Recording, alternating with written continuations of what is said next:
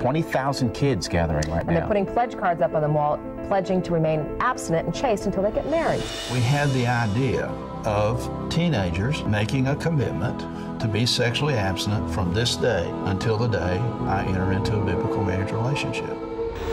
Sex before marriage was sin. The True Love Waits rally, they're really big deals. I mean, 10,000 plus kids are showing up to conferences, and all of a sudden being a Christian kid is cool. We have sexual transmitted disease because they wanted to have sex, but they didn't want to get married. And so one time I get called in this meeting, they're asking me if I'll write some music that's encouraging teenagers to be sexually pure. They're like, seriously, this is a great opportunity for you. You are going to be the face every Christian girl knows and wants to grow up to be. But nobody ever talked about how I felt, who wasn't a virgin. When I brought that in, it was shut down. True Love Waits has actually caused a tremendous amount of damage. They are entirely based in shame and guilt. In one of the churches, they had the covenant where you would sign it with God to say you will wait until you were married to have sex. There's some vows that we must make tonight. So these are your True Love Waits commitments. You know, within the purity movement, as a girl or a woman, even holding hands with somebody of the opposite sex would be cheating on your future husband. Sex before marriage, bad, guilt, shame, devil, that became the norm. Why are we not talking about what kind of propaganda this is? Please welcome the 22 year old author of I Kissed Dating Goodbye, Joshua Harris. My book had reshaped the context for singles. I didn't comprehend the challenges that I had created for others.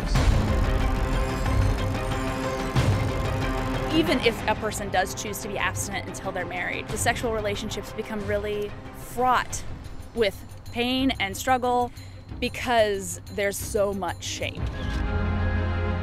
I want to say to anyone who was hurt by my book that I'm so sorry.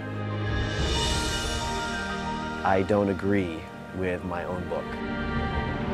I was hitting the first wave of students that had hit the purity movement. They described sexual dysfunction and trauma as if they had been sexually abused as children.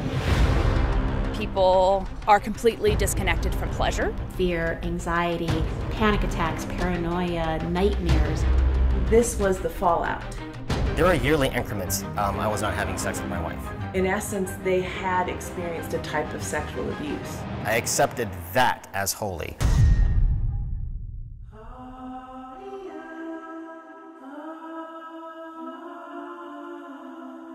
It was a really devastating and traumatic experience that came from a lack of conversation on sexuality in the church. If we can create safe spaces to talk about sexuality openly, we can really find a better way to explore this part of us that can sometimes feel risky or taboo or off limits.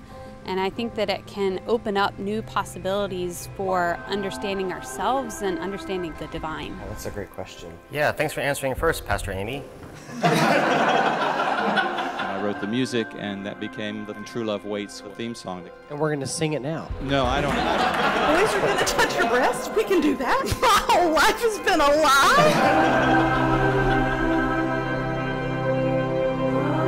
You know, once you realize that you are so deeply not alone, now you see who you can go to and have these sacred story exchanges with to find understanding and empathy and healing.